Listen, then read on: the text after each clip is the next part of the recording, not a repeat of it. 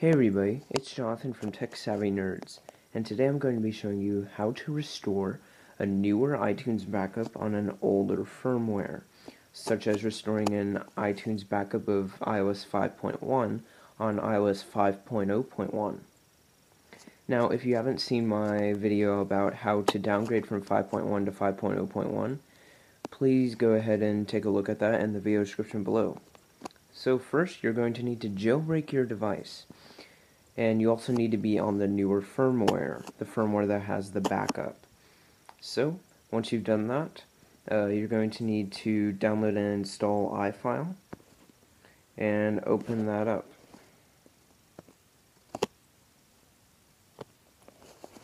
So, we're going to go to System, Library, Core Services, scroll down until you get to systemversion.plist. Go property list viewer. Okay, so you're going to need to change the product version and the product build version. And you need to find out what the product build version is of the firmware you're going to be downgrading to. So, for iOS 5.0.1, that is 9 a405 and then 5.0.1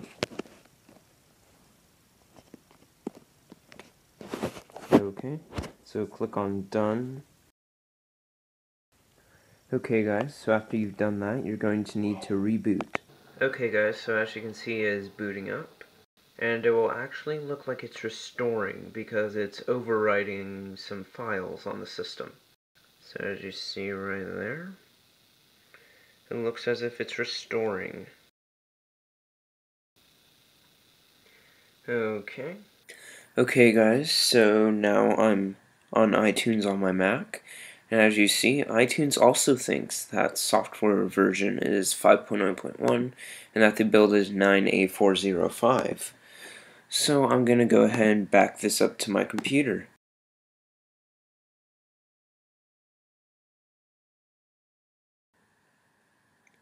Okay guys, so now my device is all backed up and I'm going to restore to 5.0.1. Okay guys, so I'm plugging in my iPod Touch right now. There we go. So I'm going to restore from the backup of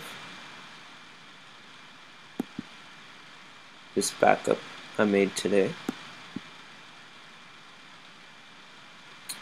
Uh, use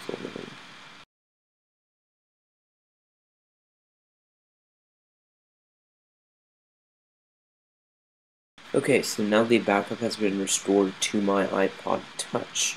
So thank you for watching. If you liked this video, please like it. Uh, if you would like to see more videos like this, please subscribe, and I'll catch you guys later.